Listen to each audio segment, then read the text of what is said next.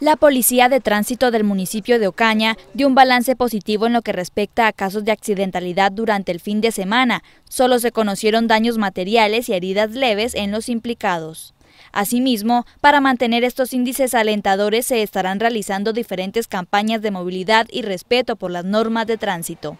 Una campaña sobre eh, no conducir en estado de embriaguez, ya que este fin de semana y ya llega prácticamente la época de, diciembre, ya estamos prácticamente 24, entonces se van a hacer más controles en cuanto a la embriaguez. La Policía de Tránsito recomienda a los conductores dejar los vehículos en casa si se disponen a tomar bebidas alcohólicas, igualmente a mantener la debida velocidad por las diferentes vías del municipio y carreteras nacionales. En caso de evidenciar alguna irregularidad en temas de tránsito, comunicarse inmediatamente con la autoridad.